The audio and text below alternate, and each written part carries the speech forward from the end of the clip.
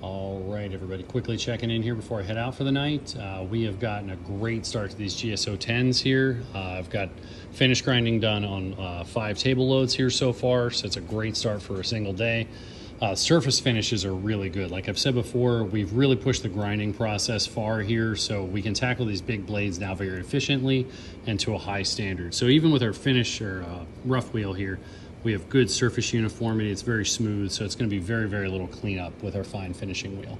So we've got these here and these couple here to flatten tomorrow morning. Uh, I'd like to get those wrapped up here tomorrow morning for flattening and get these over here as well with the last of them.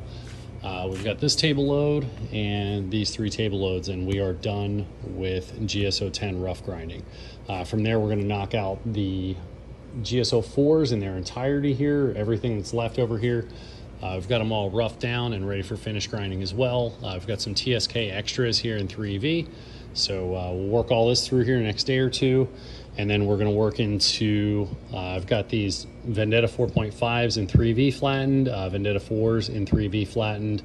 Uh, the very last of some orders for the K890 GSO 4.5 bushcrafts and standards, and we're getting into some of the GSO 4.5 standards in MagnaCut again.